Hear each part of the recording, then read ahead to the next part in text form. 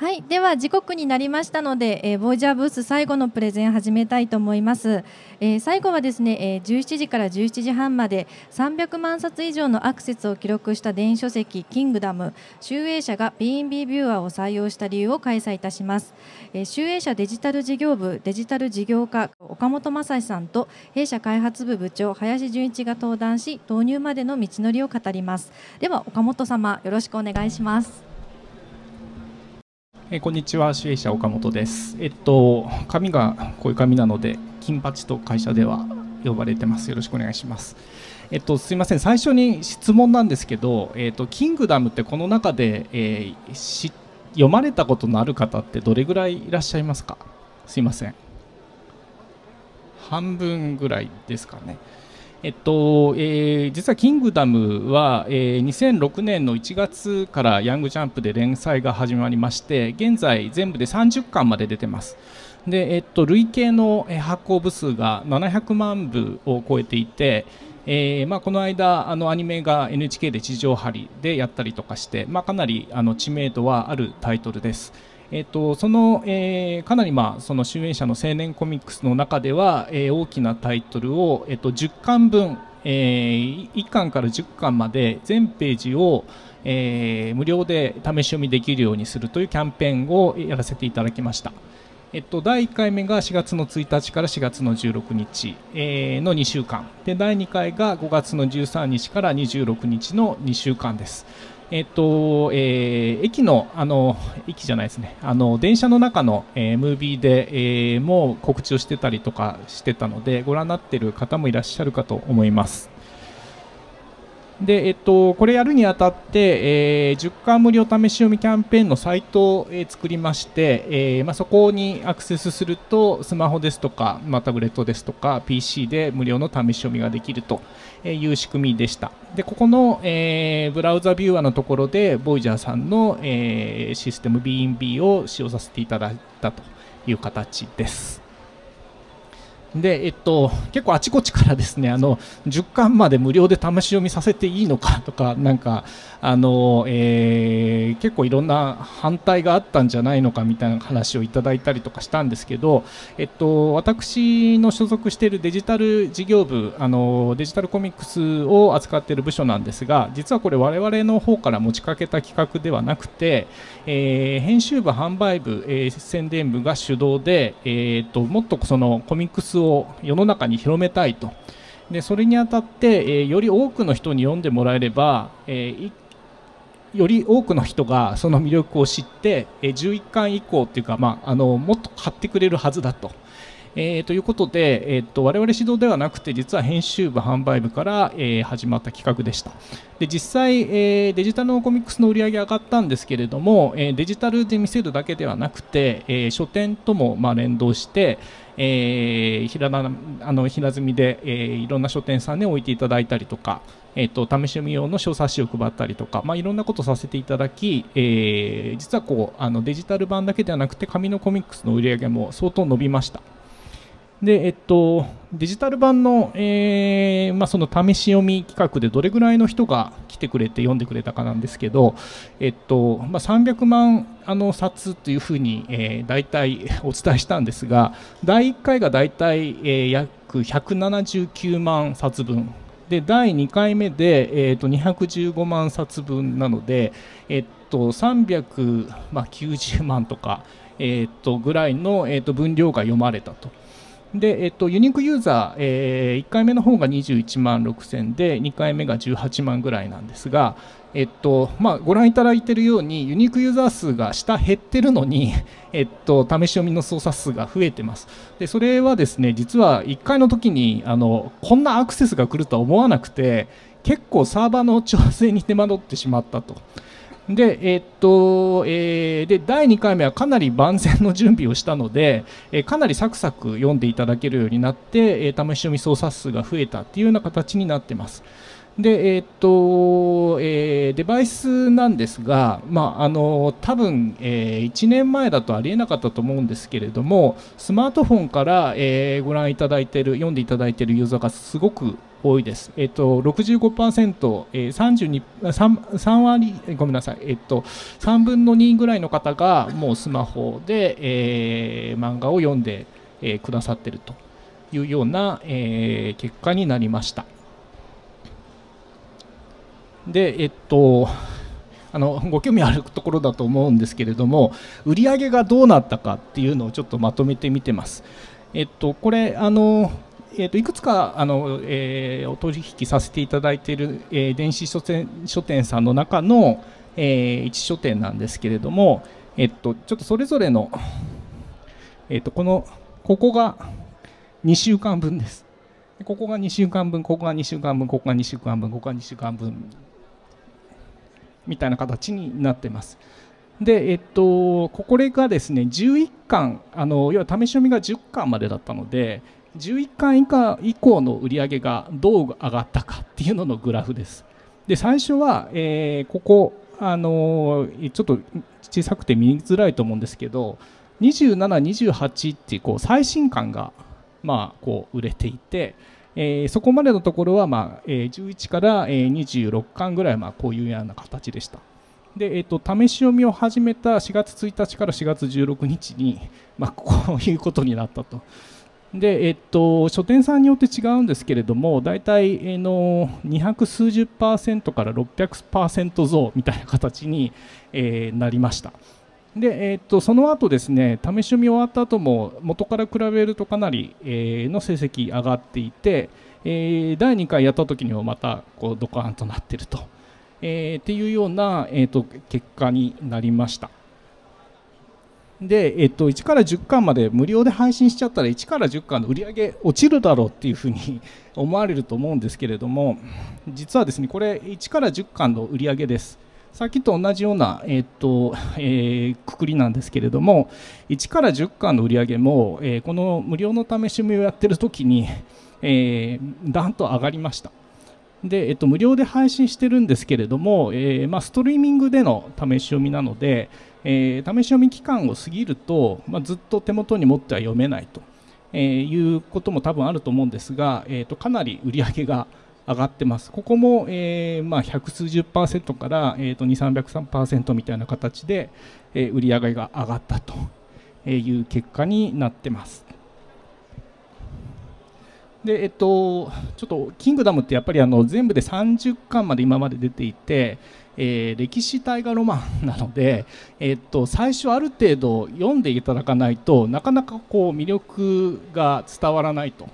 でこれがもう全然あのショートのギャグ漫画とかだったら 10巻とか試しみさせる必要は多分ないと思うんですけれども、えー、こういうあのストーリー性のある漫画だと非常にこう響いてですね、まあ、最初の、えーえー、方から含めて、えー、持ってて、まあまあ、繰り返し、えー、読んでいただけるというようなことになったんじゃないかと思います。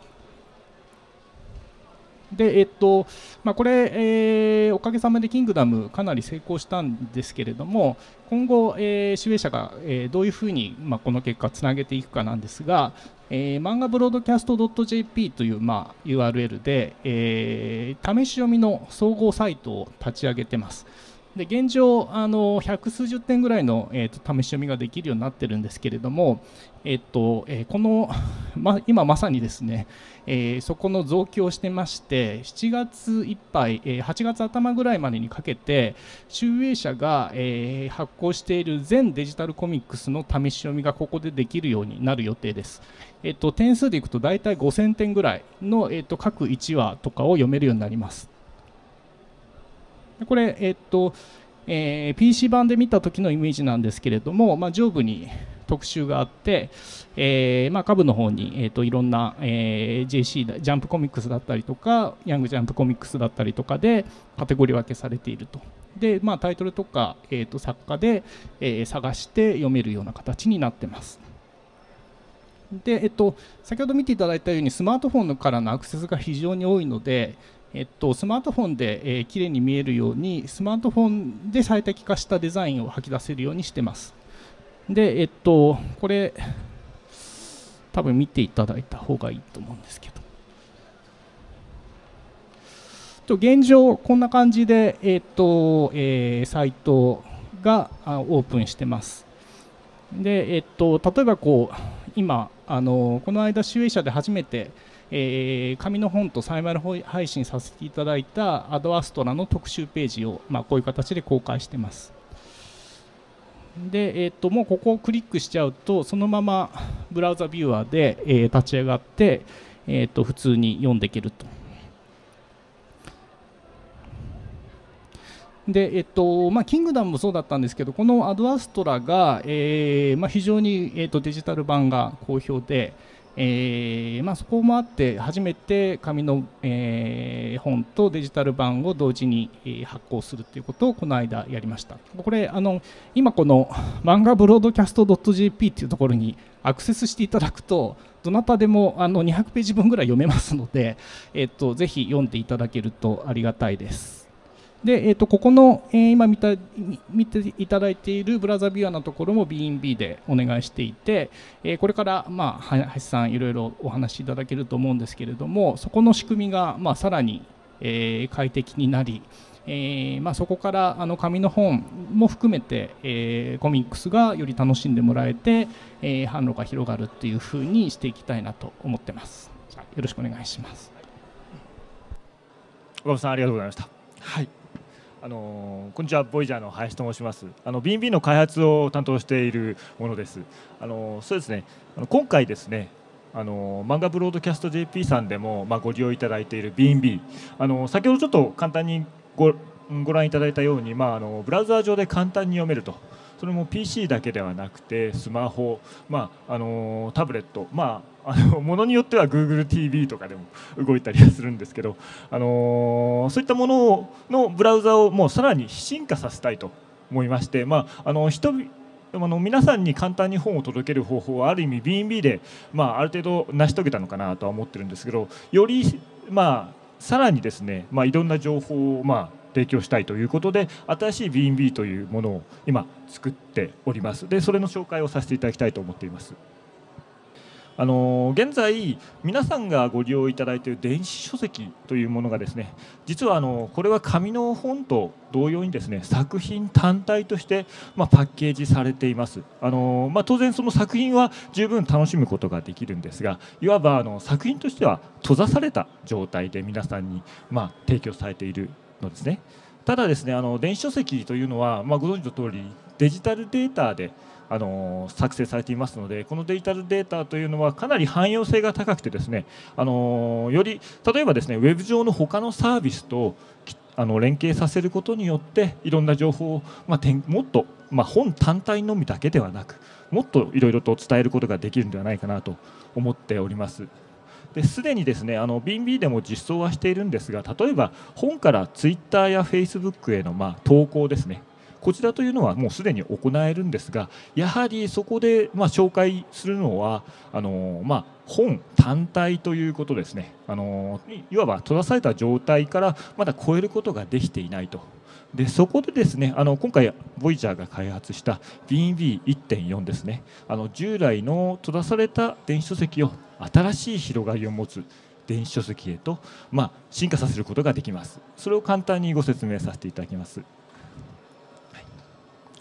あの B&B バージョン1.4では従来の BNB に加え新しい拡張機能が追加されています。あのまずは本の新しい広がりを生むベースになる技術その BNB について簡単にご説明させていただきます。Books in Browsers まあ、これはですねあの B&B というのはこの名称を略したものになっておりあのブラウザー上で電子書籍の閲覧をまあ簡単にするビュアーです。あの通常でのブラウザーで文章とかを読む場合ですねあの横書きされているテキストを、まあ、マウスでスクロールしながら読むことになると思うんですがあの B&B では他の電子書籍アプリと同様にそのページをめくりながら紙の本を読むのと同じように読書ができます。当然縦書きも対応しています。でご利用できる環境なんですが Windows、Mac のみならず iPhone、iPad、Android と、まあ、スマートフォンに各種対応もしていますで加えてこの BNB というものはですね HTML5 というそのブラウザーでま利用する共通技術を利用していますので今後新たにま次々と端末が販売されていますが、ま、その端末にも当然ブラウザー載っていますので発売と同時にその BNB とまあ電子書籍を見ることは可能です。あの対応するフォーマットもですね、まあ、当然 EPUB3、まあ、弊社の,、まあ、あのドットブックその他にも PDF とさまざまに、まあ、対応していましてこれらをあの BNB の独自 DRM で、まあ、保護しながら配信を行うというシステムになっています。もちろんあのブラウザを利用していますのであの通常やはり電子書籍を買うのは、まあ、ウェブ上のお店で、まあ、購入という形をするんですねでつあの他のお店ですとあの例えば、まあ、アプリケーションをダウンロードしないと読めなかったりとかあるいはあの専用端末の方に書籍をダウンロードしなければ読めないとかそういうことがあると思うんですがあの BB であれば当然購入してそのままウェブ上で買ったものをすぐクリックワンクリックで読めるという形のシステムになっています。でこれらのあの BNB の技術をベースにですね次の新しい技術が追加されます。はい、あの今回新しく追加される機能はですねあのスライド式の拡張メニューです。あの読書をするためにシンプルなメニューはま従来のままであのその他の拡張機能をあのスライド式のメニュー側にあの格納しました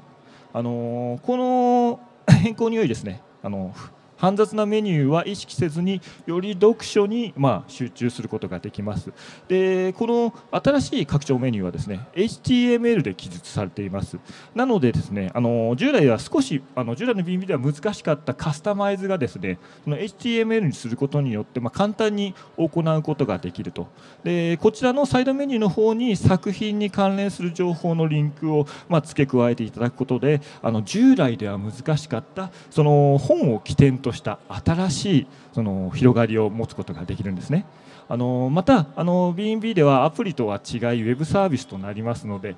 例えばあのホームページで行うキャンペーン期間中のまあサイトのようにですねサイドメニューの方もですねあの期間によって例えば無料配信を、まあのリンクを行う、まあ、追加するとかそういったま展開も可能になるんですね。あの追加機能としては本当に単純に拡張機能を追加したことになるんですがこのカスタマイズ可能な拡張機能こそがその電子書籍に新しい広がりを持たせることになります。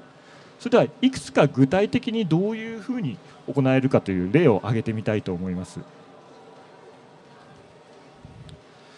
例えばですねあのスライドメニューの方で新しい、まあ、他の本への広がりを作る場合ですね。あの当然その今4本を読んでいてサイドメニューを開いた時にですねそのサイドメニューの方に新刊新刊販売のお知らせと、まあ、もちろん付け加えることもできますし例えばその他にも売れ筋の本を紹介したりあるいはまあその読んでいる本を書いた人の、まあ、著者の作品ですね、まあ、そういったもの、まあ、当然その自分の本棚のリンクも貼れますけど、まあ、そういったものをま含ませることによってそこからあの本を読んでいてサイドメニュー側からそのまま他の本に移れるということになります。で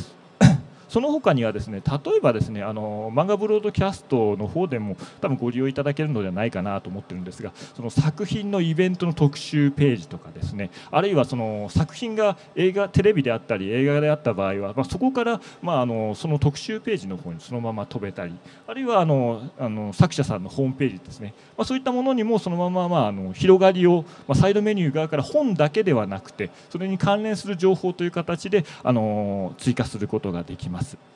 はい、で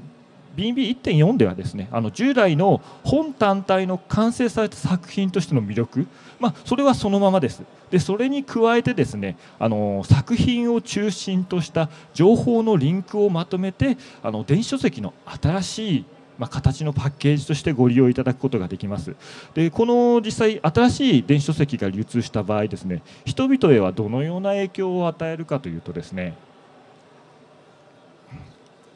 新しくあの B&B の方で提供するあの電子書籍ではあの本を読む時だけではなくて読み終わった後でもですね使われるようになります。例えばですねあの続きの新刊が販売されているのを確認するのはまた本を開くだけです。その当然同じちょ同じ作者さんの本を探す時も本を開くだけです。で当然そのその他にもテレビであったり、まあ、映画情報も本を開くだけです。で当然自分の本棚他の本に探すのにも、まあ、本を開けばそこから動線があると。でいろんなさまざまな方法で利用されることになります。であのこれはですねこの読書が求読者が求める情報を提供するその本だけではなくてある意味ツールという形にもなりましてであの販売ストアに関してはそこから新たな販売の販売窓口という形を取り続けます。でやはりその本を読んでいて面白ければ例えばサイドメニューの方に新刊販売のまあ、案内があれば当然そのままそこから買えるのであれば皆さんご利用いただけるのではないかなと思っています。あのー、今までその先ほどちょっとお話しした閉ざされた電子書籍ではですねその読書はその作品をまあ、買っても本を読む時にしか、まあ、ほぼ開かれないんですねそのさらにその一度読み終わってしまうとそれっきり二度とその本を開かない人も多いと思いますただあの B&B の新しい電子書籍では一度読んでしまうことでは終わらずにそこから次の本への広がりを持ち続けることになりますこれはですねあの従来例えばまあその閉ざされた電子書籍を販売をし続けるストアさんと、まあ、新しくこういった形の電子書籍をあの販売することにはまあかなりの差別化を図ることができるのではないかなと考えています。そうですね、あの今の電子書籍はその作品単体ですね。ねこちらに閉ざされているのであの本が人に伝えられる内容というのは本当に作品に限定されています。ある意味これはあの紙の本が持っていた制限を電子書籍がそのまま引き継いでしまっている状態ですね。あの今後新しいその B&B の方ではあの提供する電子書籍としては作品単体に加えですねその作品に関連する情報への通り道ですね。そちらをあの提供することができます。その先につながる、まあ、あのつながる先はネット上のの情報になりますので、まさにあのそこから得られる情報は無限大、まあ、制限がないと考えています。その作品を起点としたさまざまな情報を広げていくことが可能になるということですね。そうですねあの作品だけではなく繰り返しになりますがその作品を起点とした情報の通り道を提供する、まあまあまあ、ポータルブックみたいなものなんですけど、まあ、これがあの今回ボイジャーが新しく提案させていただきたいその電子書籍の形となります。あのまずその BB1.4 では集英社さんのサイトですね。先ほどの漫画ブロードキャストであのこの新しい B&B もあの先行してご利用いただけることになります。あのまああの先ほどのスケジュール通り近々あの公開させていただくと思いますのでその本と本単体のまあ魅力に加えてそこからいろいろ広がるあの新しい情報というのもまあご提供できるのではないかなと思っています。はい。はい、あのそれでですねあの実際そのものを見ていただくのがいいのかなさっき、まあ、プレゼンしかしていないので、あの実際もの動いているものをちょっと簡単にご説明させていただこうと思います。あのここですねまずブラウザーを起動します。あのここのブラウザですみませんあのもうすでにあのバージョン1.4が起点されあ、まあ、起動されている状態ですあのブラウザが本当にこれリロードすると分かるんですけどあのここでまあ、例えばどっかからリンクを読むとですねちょっとネットワークが遅いかもしれないですね、まあ、こういった形であの本が開けます。あの本当にスマートフォンでも PC でもそのままあの URL をあの踏んでいただくだけでどちらでどなたでも見れるようになっています。でですねあの本当に簡単にこういう形でちょっとまああのあの見開きであった場合はその見開きの途中が見れるような形なんですけど、まあ、こういった形でその拡大も拡大して、まあ、読むこともできたりするんです。ちょっと画像が悪くて申し訳ないんですけど。で新しいメニューがですねここをクリックするとですねあの、まあ、上下にあの本当にシンプルなものにしています。ちょっと過去の B&B はいろいろとあの細かい設定メニューともあったんですけどそれは全部スライドメニューの方にしてあの、まあ、メインで使用するものは本当にシンプルなものにしてます。でここの左上の方にですねハンバーガーボタンというものがあるんですけどここを開くとですねこういった形であのスライドメニューが出ます。で、まあ、ここはこういう形でスライドがして、まあ、あのいろんな設定をできるんですね。はい、今あのこちらちょっとあの集英社さんサイト用に本を買うデジタル本を買うというリンクを置いたりあるいはあのドラゴンボールのスペシャルサイトへのリンクその他にもまあ新書新刊ですね。新刊販売であったりあるいはランキング情報インフォメーション。あとはまあそうですね。オフィシャルグッズを買えるまあショップへのリンクがあったりあとはまあ普通にビューアー設定ですね。こういったものが今設定されています。でちょっとまだこれ試験サイトなのでうまくあの連携したいんですけど例えばここのあの青の魔術師のリンクを押すとですね。まあ、ここからそのまま普通にあの移動して本が開きます。これはこういう形であのそのまま本が読めます。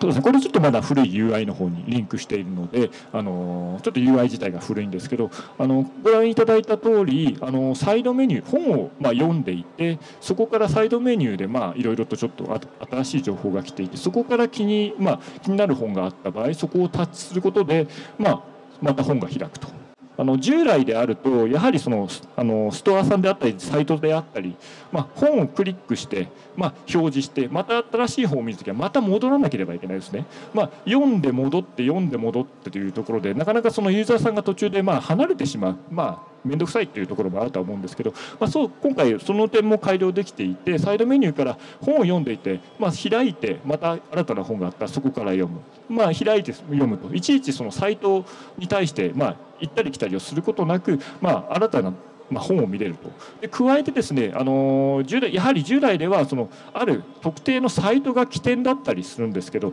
例えばですねこの先ほどのあの V1.4 のサイドメニューを持った本をツイッターやフェイスブックで、まあ、あの皆さんに通知するとその読んだ皆さんがですねそこからまたサイドメニューからどんどん新しい本が、まあ、探すことができると。やはりあの B&B ではあのツイッター等でもいろいろその本自体は伝えることはできたんですけどそこから、まあ、その単体で終わってしまったんですね。その本を、まあ、次から次へと、まあ、展開するだけで本を単体のクローズした状態で終わったんですけど今回の新しい BNB ではサイドメニューをつけることによってその他にもその本単体だけではなくてそれに関連する付加付加的な情報も全てあの読者の皆さんに届けることができるとそういう新しいシステムになっています。はい、はいはい、えー、岡本さん、林さん、ありがとうございました。えっ、と、では、お二人のプレゼンはここまでですので、もし会場で、あの、ご質問等あれば、えー、挙手をお願いしたいと思います。と、キングダム以外にもあのやってみようっていう漫画の種類とかタイプがあればぜひお聞きしたいです。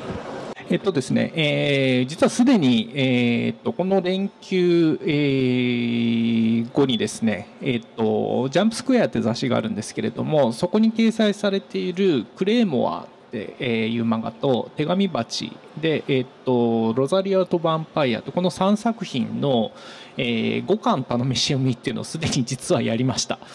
で、えっと、これもかなり好評だったんですけれどもこれは、えっとえー、この漫画ブロードキャストの中でやるだけではなくて、えーまあ、ヤフーさんですとかあの各電子書店さんで、えー、そのストリーミング配信ができたりとか、えーまあ、そのエクスパイアあの一定期間後にした後にこうあのファイル自体が消えるような仕組みを持っている電子書店さんではそういうのを実施させていただきました。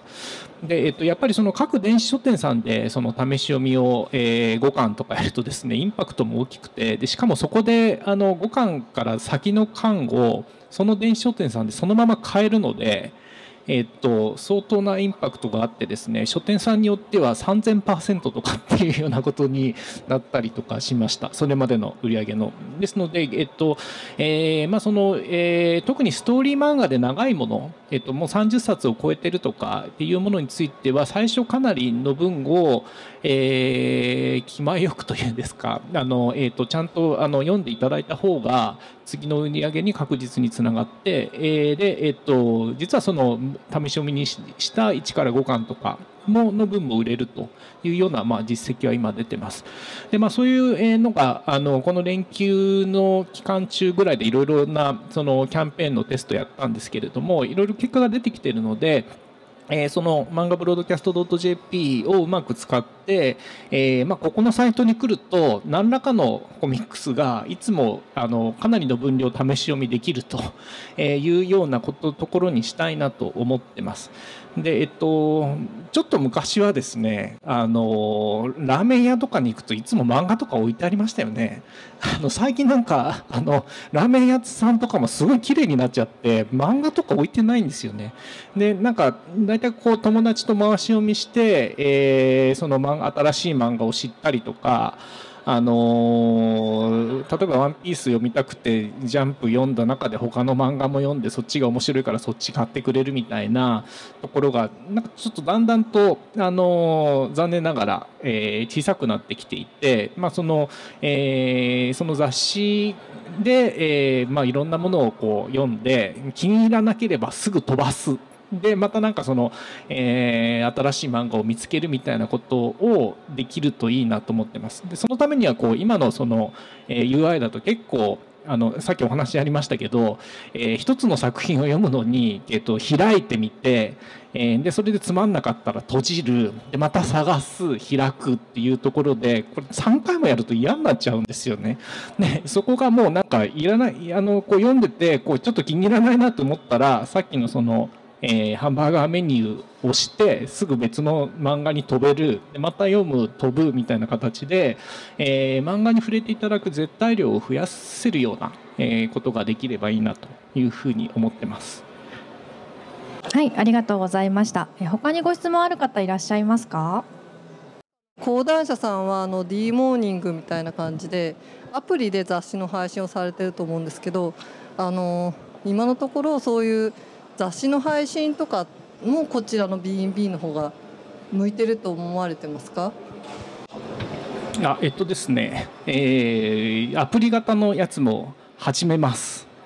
はい、えっと、ジャンプライブって名前で、えっと、えー、毎日新しいコンテンツをお届けしますというのを、えっと、立ち上げるえー、ことにはなっています。えっと、そろそろそろなんかいろんなところで告知は出てると思うんですけれども、えー、まあ、そういう、えっと、アプリ型のものもやりつつ、えっと、より広く、えー、より多くのコンテンツを届けるということで、えこういうことも合わせてやっていくと。アプリの方が向いているというふうに思われていらっしゃるんですか？えっと、ちょっとまだどっちがどう向いているとかって、えっと、なかなか判断できない状況ではあるとは思うんですね。あのえっと、アプリがまあその手元にあっていろんな情報がそのままこう降ってきて、えー、そのえーとまあ、そのウェブブラウザではできないような表現だったりとか、えー、機能とかも実装できるので、えーとまあ、例えばあのここでこうゲーム的なことをやらせようとかっていうのってかなり難しいじゃないですか、まあ、そういうことも含めて、えー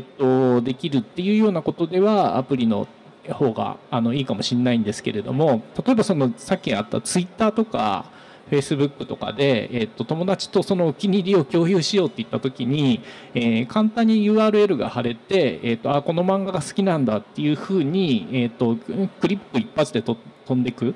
であのさっきあの林さんがプレゼンされてた左上のところにメール、ツイッター、フェイスブック、LINE みたいなアイコンがついてるんですけどあれを押すと、まあ、あの事前に自分のアカウント登録しとけばそこで一瞬でそこでをつぶやけると。いうふうな形になります。とあのえー、まあ、それがアプリだとあのアプリの紹介サイトにしか飛べないんですけどここは、まあ、実際の、えー、漫画をあの試し読みしてもらえると。っていうような、まあ、ところで言うと、まあ、あの SNS にはかなりこちらは向いてるのかなと。逆に、まあ、あのジャンプだったりとか、えーと、マーガレットだったりとかヤンちゃんとかだったりとかもあのすでにこうすごくファンがいるあのコンテンツだったり雑誌とかだったりとかするとそこのアプリの中で、えー、まあファン向けに作るものだったりとかってそのまあ求心力はかなりあるのかなと、まあ、そこはちょっといろいろとあの適適